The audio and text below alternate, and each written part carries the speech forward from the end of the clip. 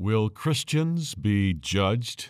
Just who is the judgment seat of Christ for? Knowing today what the Bema seat in heaven is all about causes us to live faithful lives today as believers here on earth.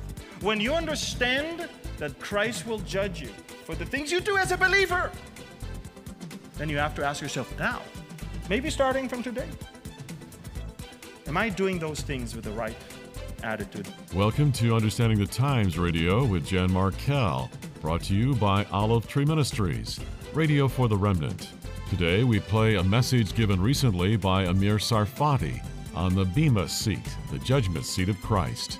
Yes, the believer's sins are forgiven at the cross, but we still face a time of rewards and judgment.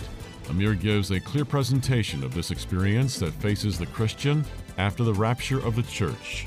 Here is today's programming. And welcome to the program. So glad you can join me today. Say, I'm taking a week off of recording and I chose to play a wonderful message given by Amir Tsarfati, head of the organization Behold Israel. Amir has spoken at five of my Understanding the Times conferences starting in 2015, and the message is on the Bema seat or the judgment seat of Christ. This is when the believer, right after the rapture, receives his or her crowns for our faithfulness, works, and more, and also receives judgment. No, not eternal judgment that was dealt with at the cross. It says in Romans 14, verses 10 through 12, For we will all stand before God's judgment seat. So then each of us will give an account of himself to God. 2 Corinthians 5:10 says we must all appear before the judgment seat of Christ so that each of us may receive what is due us for the things done while in the body, whether good or bad. In context, it is clear that both passages refer to Christians, not unbelievers. The judgment seat of Christ, therefore, involves believers giving an account of their lives to Jesus Christ. It will be a sobering time and a joyful time of receiving crowns and rewards. Here's Amir presenting this message. You know, the likelihood for you to get hurt in California or in America in general is way higher than being in Israel, just so you know. Plus, in Israel, if the rapture happens, it's much faster. and in Israel, when you pray, it's a local call. So I urge you to, that is step of faith. I, I know it because the media is always, there's so much garbage. I call them the media knights. And uh, I totally understand why you probably have a, an image of Israel that is surely not the reality of what's going on there.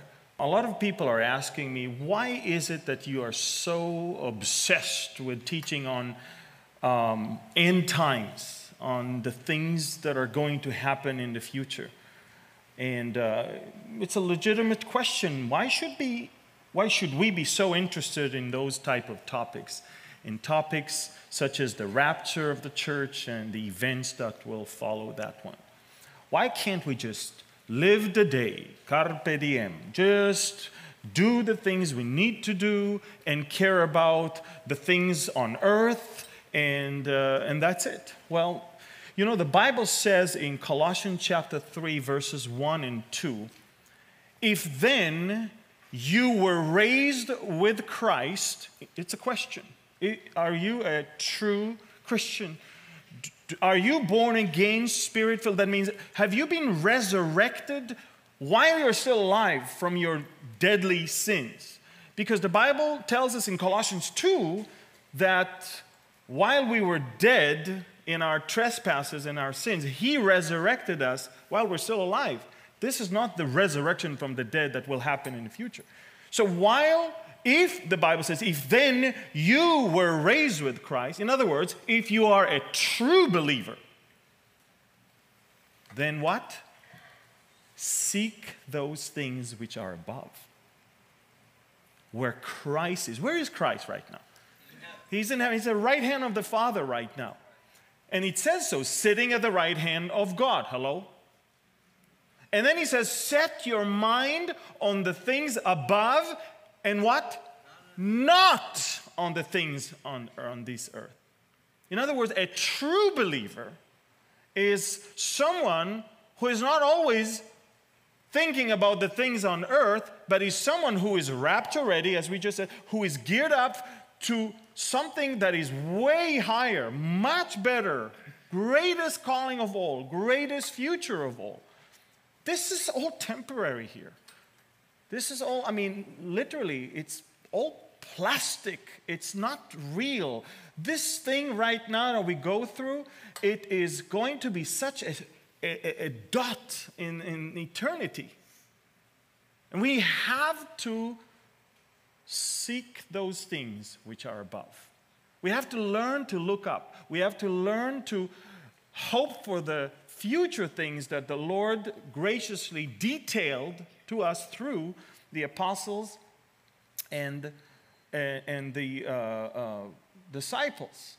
And it's interesting because looking up is super biblical. In fact, the Bible says in Philippians 3:14, I press on towards the goal for the prize of the upward call of God in Christ Jesus. Even though you run, it's the prize that of the upward call of God. Psalm 121, I lift up my eyes to the hills.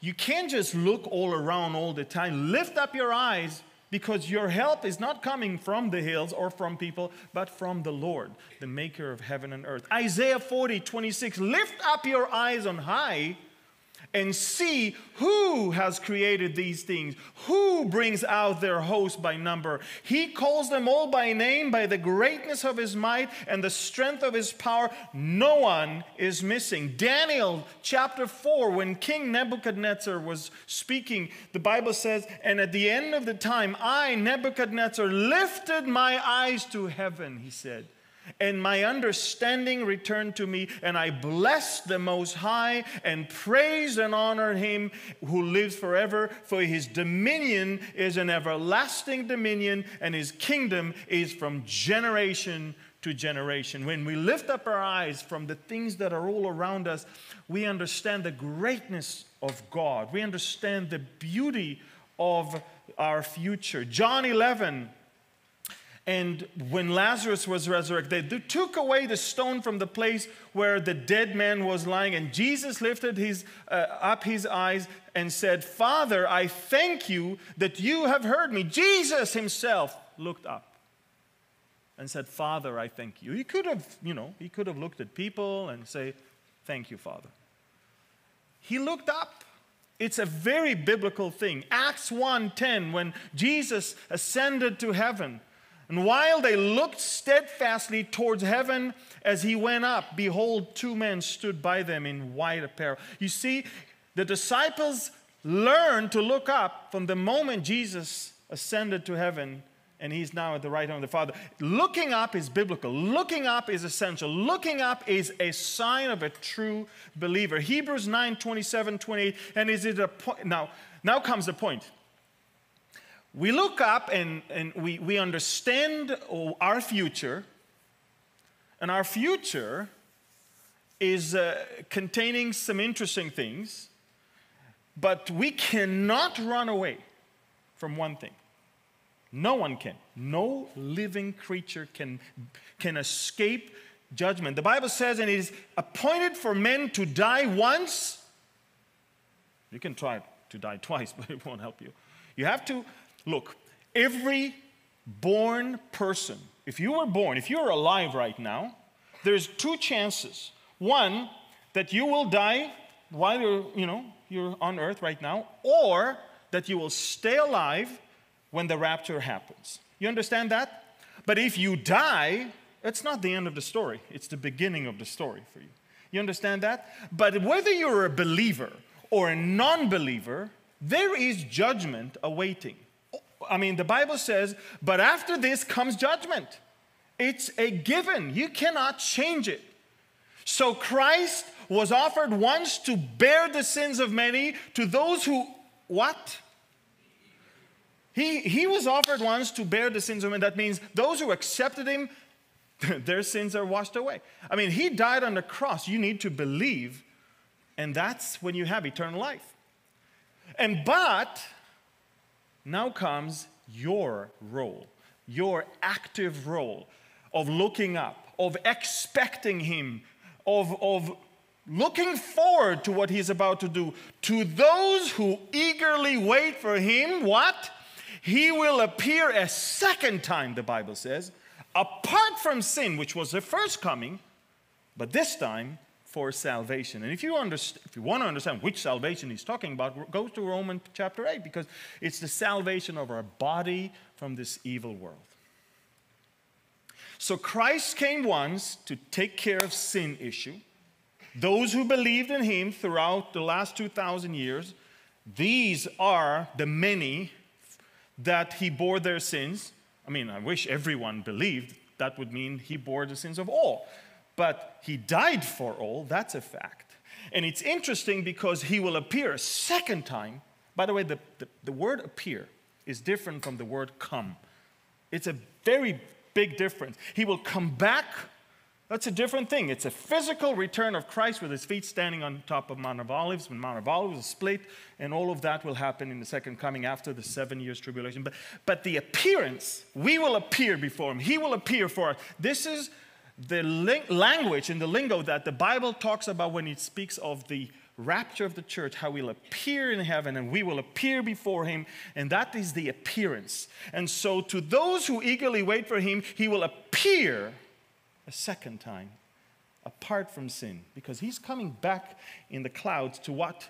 For us to be saved, the salvation of the body. And so judgment is inevitable. We, we already understand that. And, and, and, not only the New Testament tells us that, even Job, of the oldest books in the Bible, says, Be afraid of the sword for yourself, for wrath brings the punishment of the sword, that you may know there is a judgment. Judgment is there. Our deeds have consequences. Judgment, by the way, sounds like a very harsh word, and half of you right now are scared. What is he talking about? I thought I'm saved. I thought this whole thing of judgment is no longer for me. What am I sitting here for? Well, when it comes to you, it even more so becomes something that you're intrigued to know what judgment is he talking about? Well, I would like to answer this morning eight different questions regarding that one. First of all, what is the Bema? Because we're going to talk about the Bema judgment seat. Where is the Bema? How many future judgments are there anyway? Who is going to stand there before Jesus at the Bema seat? How will they even get there? How is this judgment different from the others? And when will that be? And what is the purpose of the Bema seat of Christ? And why are we even talking about it today if it's in the future? First of all, what is a Bema? So before we start, let's pray. Father, I thank you for your word. Your word is truth. And we ask that you will sanctify us by your truth this morning. We don't want to hear any, anyone's. Uh, opinion or his own interpretation or his own commentary. We want to hear you through your word this morning. In Jesus' name, amen. So, what is a bema?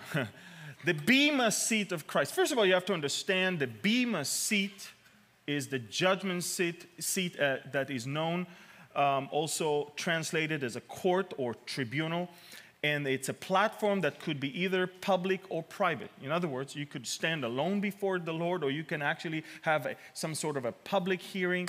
Um, but we are talking about something that is promised in the scriptures. The Bible says in John 19 13, why do you judge your brother, or why do you show contempt for your brother? For we shall all, it's not maybe, not could be, we shall all stand before the judgment seat of Christ. So we already know that is going to happen. Acts 25 22 is when we have a, some sort of a, a public uh, one. Um, the Agrippa said to Festus, I also would like to hear the man myself. That's actually a private one. I'd like to hear the man myself.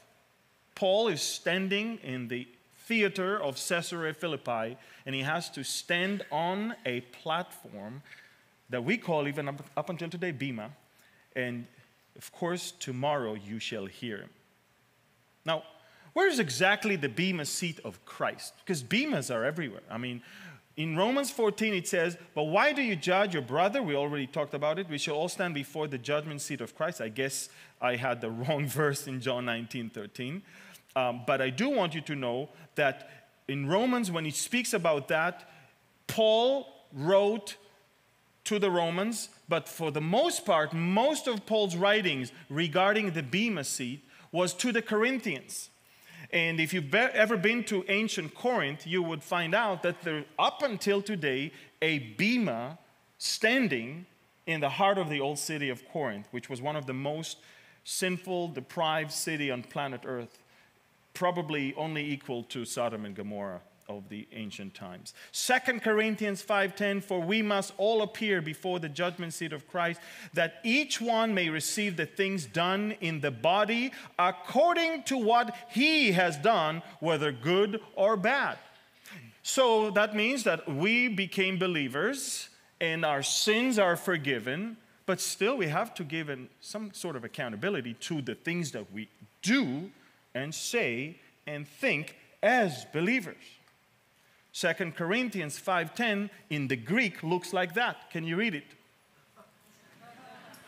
well, I can tell you, you, that you may not be able to read it, but you can see the highlighted part, which is bematos to Christos.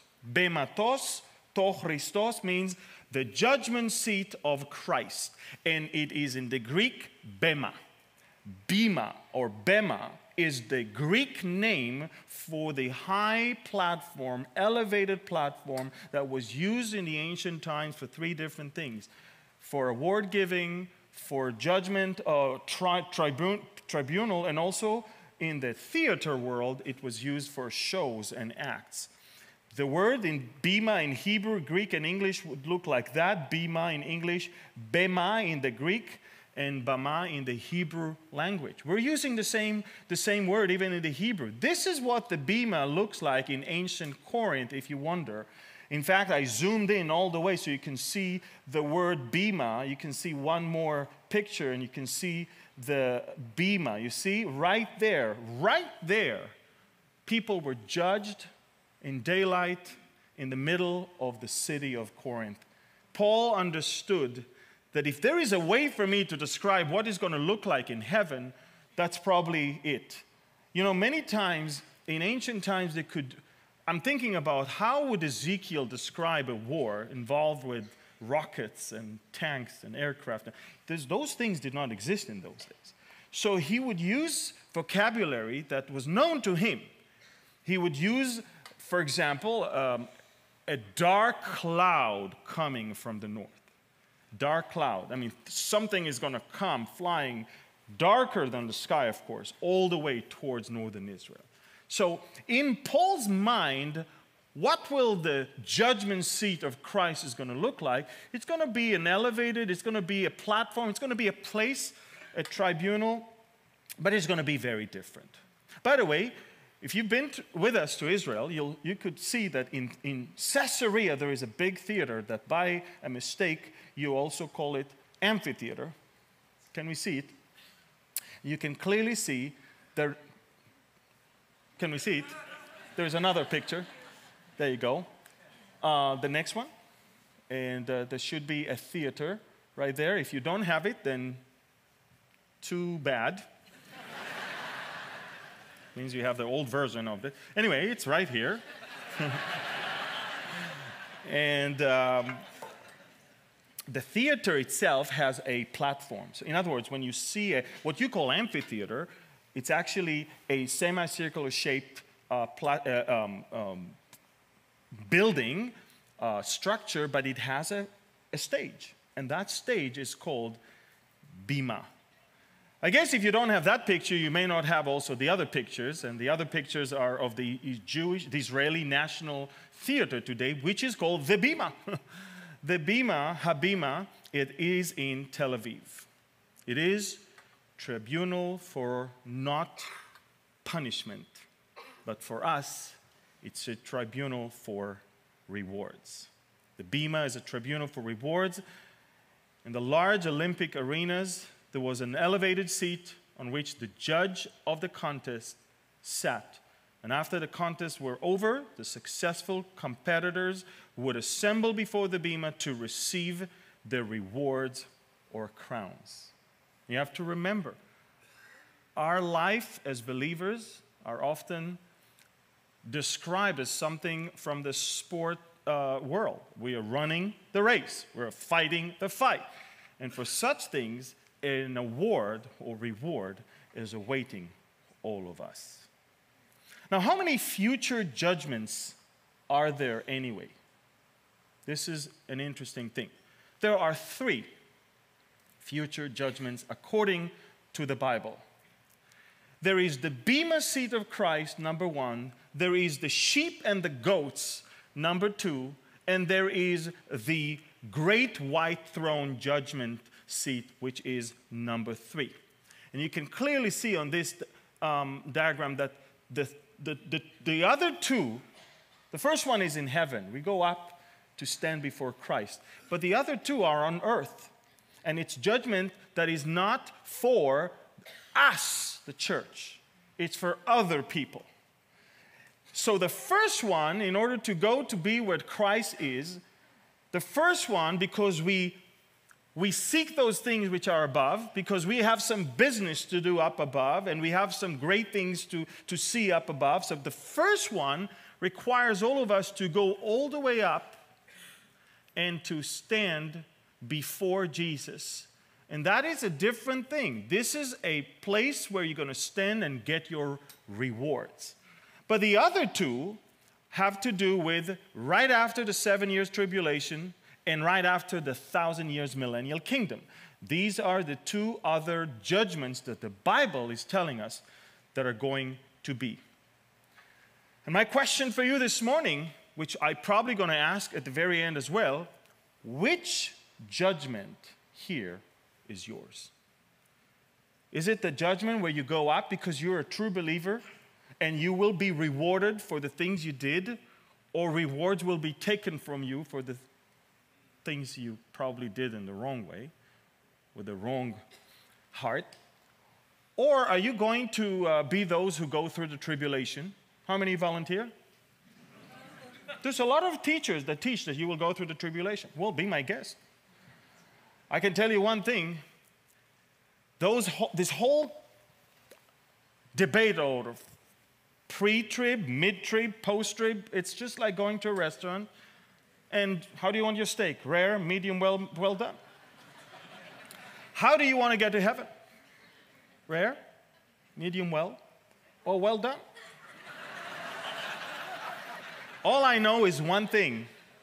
If we need to spend time in front of the Bema seat of Jesus, and if we need to stay and have the marriage ceremony up there, and if we want to look at those mansions that he's been faithfully working on for the last 2,000 years, we're not described as going with crutches and on wheelchairs because we made it through halfway of the tribulation or completely dead without heads because we are at the end of the tribulation. No, that's not the case. We're standing there. The only thing that has to happen to all of us prior to us going to be with Him is that all of those lowly bodies, sorry for my compliment this morning, all of our lowly bodies will have to change. That's it. So, who's going to stand before the Bema seat of Christ? Only the church. Only the church. The participants in that judgment are members of the New Testament church. It's not even the Old Testament saints, it's the church. We're going to stand before Christ. And the Bible says the people who have trusted Christ as Savior from the day of Pentecost, from the time the Holy Spirit came, because He said, Unless I go, I cannot send you the Comforter.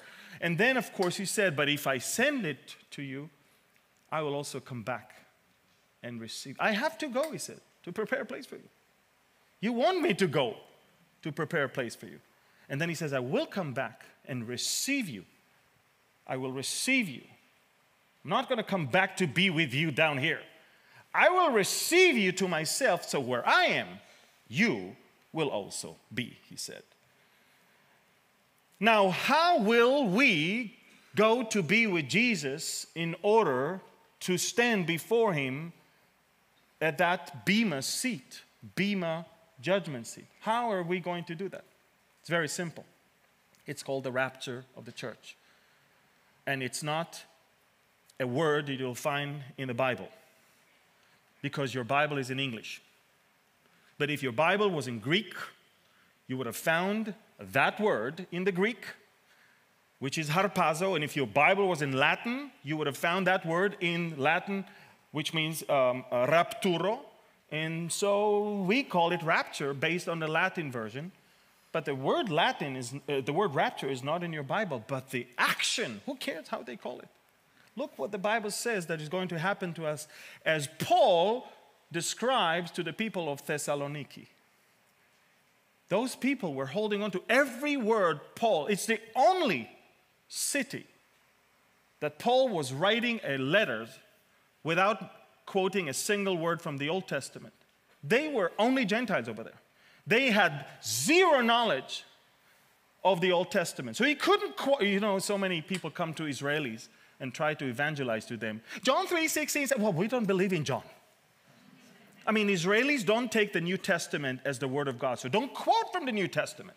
You have Jesus never led anyone to believe in him through the old to the New Testament.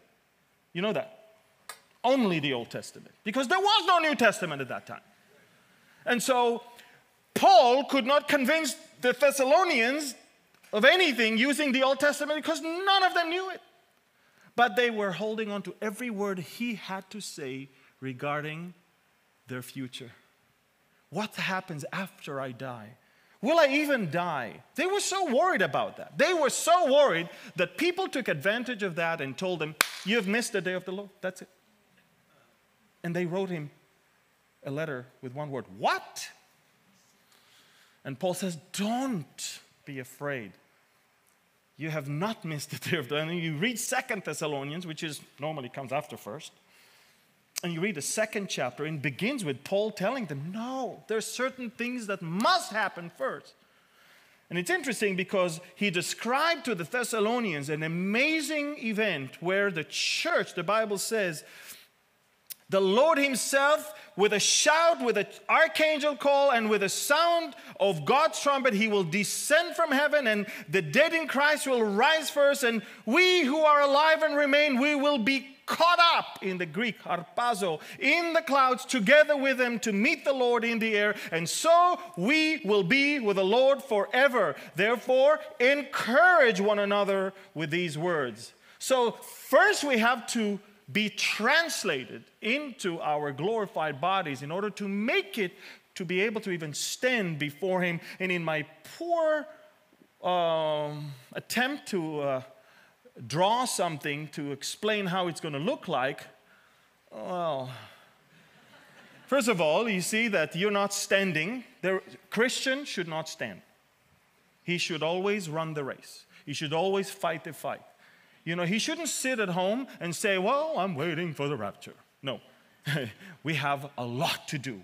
We have to do our Father's business. We have to spread the word, teach the word. We have to, in season and out of season, we have to be everywhere, all about God's word. So we have to be active.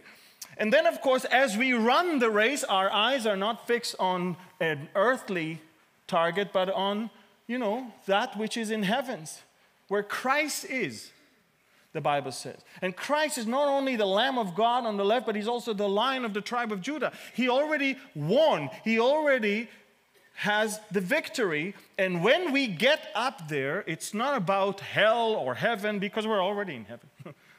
it's about receiving rewards. Now, what's the difference between this judgment and all the other judgments? It's very simple.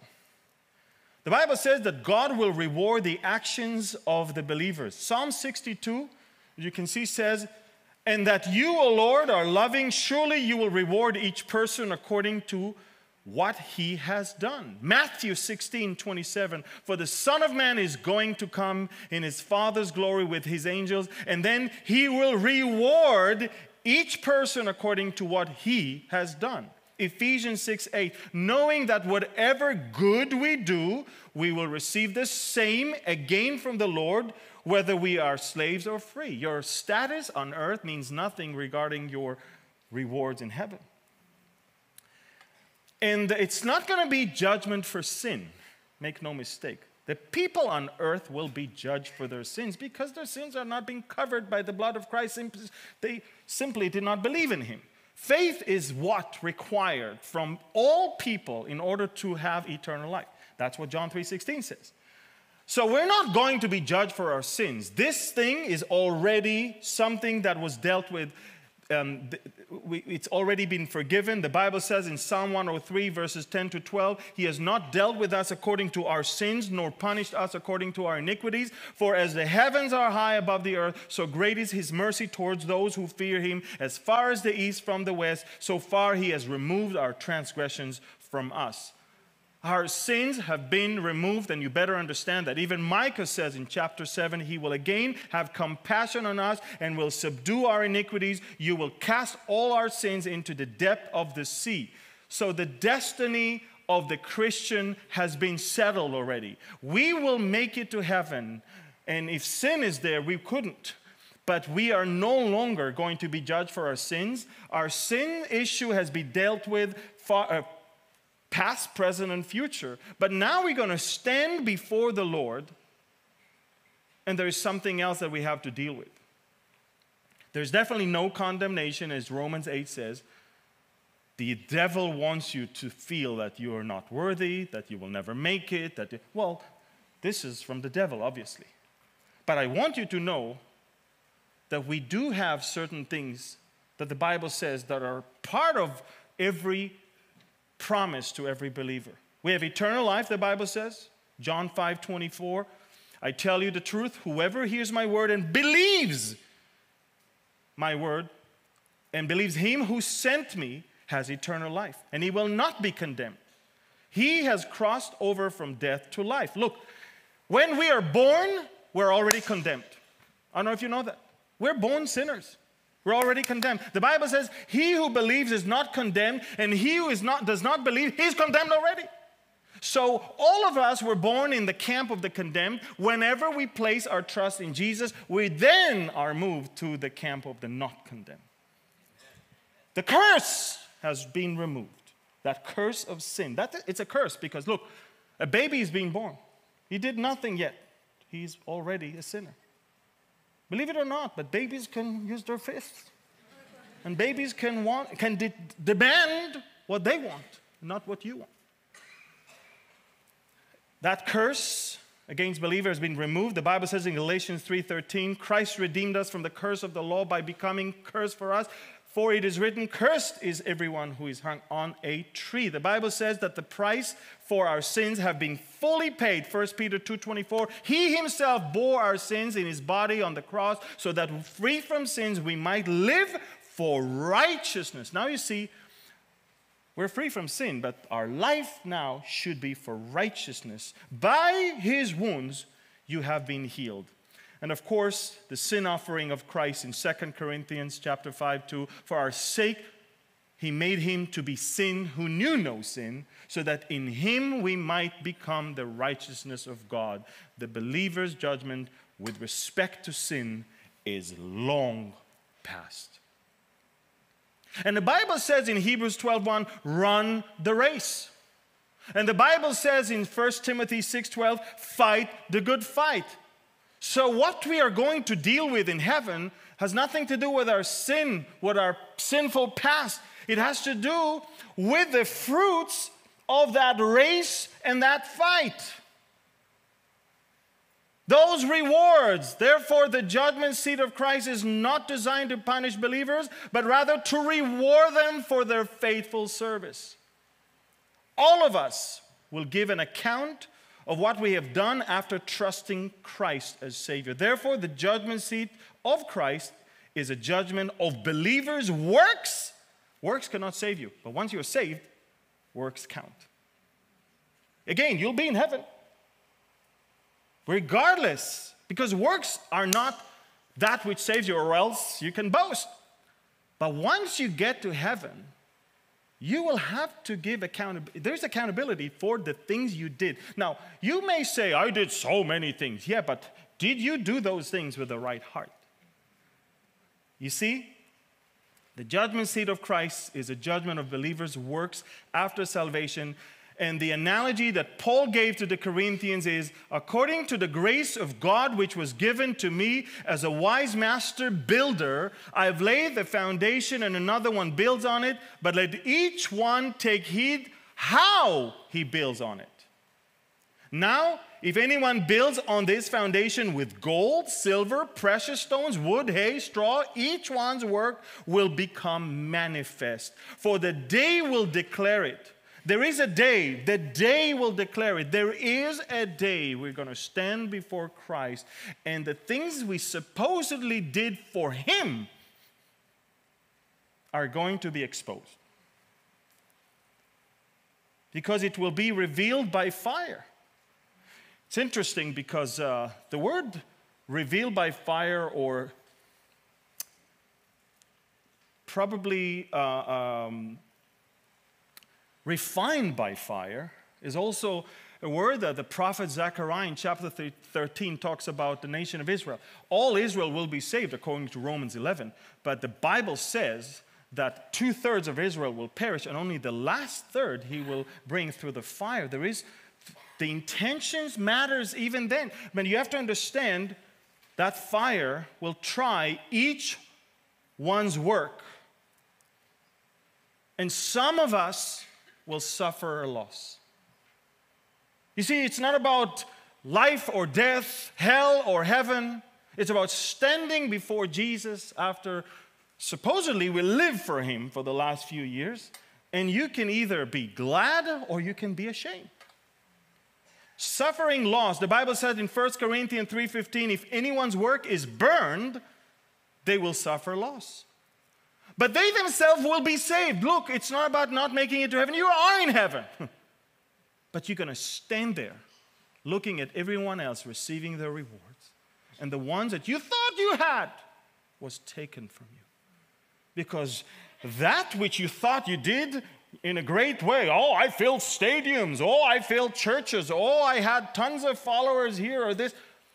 Everything is going to be tested through fire. And if it's not really the right heart, that which you thought is yours is taken from you. You'll be saved, but as through fire. It's like, you know, when the cartoons, when they go through fire, they're still standing, but smoke comes out of them. That's not a picture you want to see yourself like. Fire, I, am sorry about the cartoons. We were in Disney and all of that. It's all fire. The judgment will be by fire. Fire is used in Scripture as a symbol of judgment and holiness of God. You can see in Genesis, the Lord rains down burnt sulfur in Sodom and Gomorrah from the Lord out of the heavens. You see that fire of judgment. You see in Deuteronomy 4:24, for the Lord your God is a consuming fire, jealous God. But in Revelation 1:14, one of the ways to describe the holiness of Jesus. His head is and his hair were white as white wool, white as snow, and his eyes were like a flame of fire. Now, we really want to stand before Jesus. So, we already understand the minute the rapture take place, whether you're dead or alive, we will be changed. The Bible says in 1 Corinthians chapter 15, verses 15, 51, Behold, I tell you a mystery. Not all of us are going to sleep, to die, but all of us are going to change. In a minute, in a twinkling of an eye, the last trumpet, we will wear incorruption. You can go to the gym as many times as you want. That body is dying. And you will need a new body if you want to enter into heaven. Your body, I'm not encouraging you not to live healthy lifestyle. I'm encouraging you not to trust that this body will get you to heaven. 1 John 2:28 and now little children abide in him. He needs to be the thing you draw your life from. Abide in him that when he appears, appears, remember that word? Rec- pretends to what? Talks about what? The rapture the time he appears before us. When he appears, we may have confidence and not be ashamed before Him at His coming. Wow. So there is a possibility of being ashamed at His coming. We want to receive the full reward. Believers will receive that full reward for their deeds of faith, but the, the question is what is going to look like? Second John 8 Look to yourselves that we do not lose those things we have worked for, but that we may receive a full reward. Be careful not to lose them. It's not about losing your salvation, it's losing your reward. Revelations 3:11 Behold I come quickly hold fast what you have that no one may take your crown. That means whatever you do, however you live, the way you believe should be genuine and not phony. Now, I'm very bad in illustrations. In fact, I don't even have a clue how to use illustrations. So I found it online. We can illustrate the loss of reward in the following manner. Let us say that You've recently built a new two story house. While on the second floor, you smell smoke. Looking downstairs, you see that the first floor is on fire. You jump out of the second story window to save your life, but then you watch your new house burn to the ground, and obviously, you will have mixed emotions. You're thankful that you were able to jump and save your life, but you're sad because your new house is destroyed. This is similar to those believers who are saved but have nothing to show for it. They squandered their opportunities to live for Christ, yet they are enjoying the benefits of heaven with Jesus. Wow, how sad that instead of rejoicing in the presence of God, instead of standing before Christ, making it to heaven, that that's the happiest place on planet Earth. On, not on planet Earth, but in the world. Instead of rejoicing, you're standing there and your whole life is passing right in front of you. And you find out that one thing after the other that you thought you'd do it for the Lord, but you actually did it because you wanted other people to see you doing it. Or you actually did it because there was some sort of a gain well, the Bible says all who experience the judgment seat of Christ will possess the privilege and honors as children of God. But Jesus said he will acknowledge those who have believed in him before his Father and before the angels. As Matthew 10 32 says, there will be gifts to be received. As Paul said to the Corinthians, eye has not seen, nor ear heard, nor as have entered into the heart of man the things which God has prepared for those who loved him. But God has revealed them to us through his Spirit, for the Spirit searches all things, yes, the deep things of Christ, of, of God, excuse me. Now we have to understand that our rewards will be proportionate to the way we live and to the things we did with that which God gave us. The reward of the believers is proportionate to the faithfulness they show in this life. The key is faithfulness to the gifts God has given you. And the Bible is clearly indicating that 1 Corinthians 4 2, moreover, it is required in stewards that one be found faithful. There's different degrees of rewards, and Jesus said that in several of his parables. In Luke 19 17, he says, Well done, my good servant. His master replied, Because you have been trustworthy in a very small matter, take charge of 10 cities. And yet, to someone else, he said in verse 19, You take charge of five cities. In other words, that which God gave you is enough to give you everything you need. But if you don't do with it anything, then you will not be blessed and be rewarded the way you could have if you were trustworthy, if you were faithful.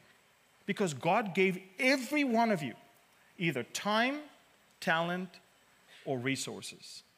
And He's going to ask you, What have you done with the time, talent, and resources that I gave you? And those crowns, Second Timothy says, I have fought the good fight, I have finished the race. Paul is in, at the end of his life. He understands, okay, I guess I am going to die. But look what he says that I'm going to die with a huge smile. Why? Because I know I fought the good fight. I didn't stay at home. I didn't do nothing. I fought the good fight. I ran that race and I finished it. I have kept the faith. I'm faithful because I, have done everything God gave me, whatever He gave me, I did something with it. And look what He says now there is in store for me the crown of righteousness. And, and Paul understands the sequence of which things are going to take place. So he, he's not saying, I'm about to appear before Christ today and I will receive the crown of righteousness right now. No. He knows there is a day set, there is a day reserved, not only for him. So he said, That crown of righteousness that the Lord, the righteous judge, will award to me when? On that day, he said.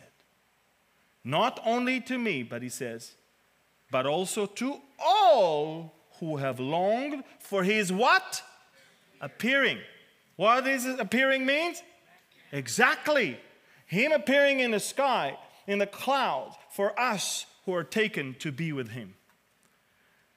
To those, the crown of righteousness is reserved. There's the book of life that the Bible says that uh, is part of that judgment seat because he's going to, you know, we're going to look at what we did in our life. Death is no longer has dominion over the believers. Believers will be clothed in white garments, having their names written in the book of. Now, just so you understand, every person on planet Earth that has ever been born, his name was written automatically in the book of life because life means he's alive. However, when you die and you do not have faith in Christ, and your name is not written now in the Lamb's book of life with the blood of Jesus can never, that can never be erased, then you're blotted out of the book of life because you're no longer alive. You understand? It's very simple. The book of life is, is for those who are alive and then you are your name is now in the lamb's book of life that, and it cannot be blotted out. That's why the bible says in revelations 3 4 and 5 those who overcome will have their names written in the book of life. That's the lamb's book of life. And then he said you have a few names even in sardis who have not defiled their garments and they shall walk with me in white for they are worthy. He who overcomes shall be clothed in white garment and i will not blot out his name from the book of life, but I will, because you, they have eternal life. and I will confess his name before my Father and before his angels. And when will that be? Of course, first we have to be with him, so the rapture. Then we have to stand right after the rapture because first comes judgment. The Bible says in the book of Hebrews, it is appointed upon men to die once, and then comes the judgment. It's not going to be, okay, you sit here watch this movie, get this popcorn. I'll come back in two years and judge you. No. First thing, right after the rapture. The judging of believers will occur right after the rapture. We're going to stand before Him. Revelation 19, 7 and 8. Let us be glad and rejoice and give him glory, for the marriage of the Lamb has come, and his wife has made herself ready fine linen, bright and clean, was given her to wear. And that represents the righteous acts of the saints. That means that you've been already after the Lamb's throne of judgment. So, the judgment seat of Christ is a time of examination and reward. From Scripture, we can conclude the following concerning the judgment seat of Christ. First of all, the Lord will resurrect the bodies of the saints who have died during the church age, as well as change the bodies of those who are still alive, us, I believe. Two, they will meet the Lord in the air and proceed to judgment seat of Christ. Three, this judgment will consist of rewards for faithful service, and it will not be a condemnation for anyone. Four, rewards will consist of crowns given to believers based upon our faithful service to Him the rewards will be proportionate to our faithfulness. And now comes the last question why in the world do we have to study about that? And what is the purpose of the judgment seat of Look, I always have to ask myself, what's the purpose of things? I struggled. When I studied for the millennial kingdom message, I struggled. I said to the Lord, I'm sorry, but I don't agree with you. I said, You took me all the way up there to taste heaven, and you're going to throw me back for another thousand years on earth? And then I had to get all my assurances from the scriptures to understand that A, for us who are like him now, a thousand years are like what? One day. So don't worry. Second, I understood that that was a display of his righteousness because after a thousand years, when Christ is in Jerusalem physically, reigning, no sin, no satanic influence because he's locked down in that bottom, if still people at the end of the thousand years millennium kingdom are ganging up against Christ and his people, that means that they do deserve the judgment seat of the white judgment throne at the end of the millennial kingdom. So he is displaying his righteousness for a thousand years. And here, knowing today what the Bema seat in heaven is all about, causes us to live faithful lives today as believers here on earth. When you understand that Christ will judge you for the things you do as a believer, then you have to ask yourself now, maybe starting from today, am I doing those things with the right attitude? The greatest consequence of unfaithfulness here on earth is that it disappoints Christ. 1 John 2:28 and now little children abide in him that when he appears we may have confidence and not be ashamed before him at his coming.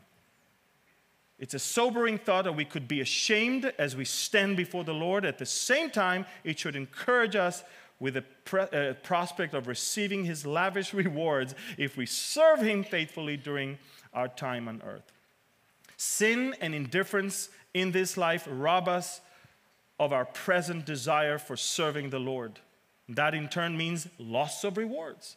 As in Ephesians 5 15 to 16, see then that you walk uh, circumspectly, not as fools, but as wise, redeeming the time because the days are evil. Sin and indifference result in a loss of power in our lives because sin grieves the Holy Spirit, and sin and indifference causes also us to pass up opportunities for service which we would otherwise perform and be rewarded for. And I would conclude with this we are to run the race in order to win. Not you don't show up to the stadium and then you start walking like that. You have to run. And don't even just run like that. Run, the Bible says, look, it says, do you know, do, you don't know in 1 Corinthians 9 that those who run, run the race, all they all run, but only one receives the prize. So run in such a way that you may obtain it. Run as a winner. And everyone who completes for the prize is temperate in all things, but now they do it to obtain a perishable crown, but we for an imperishable crown. And whatever you do, Colossians 3 23 and 24, do it heartily as to the Lord and not to men, knowing that from the Lord you will receive the reward of inheritance, for you serve the Lord Jesus Christ. And I will conclude with Romans 12:1. I beseech you therefore, brethren, by the mercies of God, that you present your bodies a living sacrifice, holy, acceptable to God, which is your reasonable service. Father, we thank you so much for your word. It's not only giving us comfort, knowing that sin has been dealt with and there is no condemnation, but it also encourages us to use the talents we have received to be as faithful as we can, to flee from temptation, and to run the race, fight the fight, and do it in such manner, in excellence, and in, in great anticipation for that day that we will stand before you in heaven. Father, you said through Jesus that he will come back The second time, to those who eagerly wait for his appearance. Obviously, if we're not ready, we're not eagerly awaiting. So, Father, we ask that you will work in our lives to show faithfulness in our service to you. So we will be ready and eagerly await your return. If there's anyone here this morning that is life, even as a believer, is not reflecting the sincerity of service to you. And maybe he's not even aware of the consequences of how he does things and why he does things. So, Father, this morning we ask that you, through your Holy Spirit, convict, change, renew, redeem, and restore. We bless your name this morning, and we do that in the name of the Holy One of Israel, in the name of Yeshua, our salvation. And all of God's people say, Amen. So there you have it. We will all receive rewards, but we may also be chastised at this bema seat.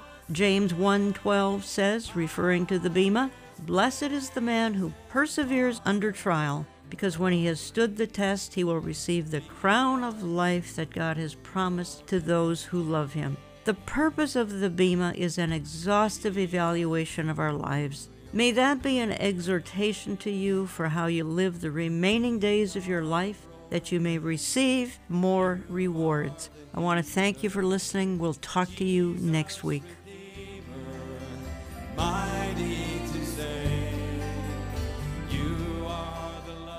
Write us through our website, olivetreeviews.org. That's olivetreeviews.org.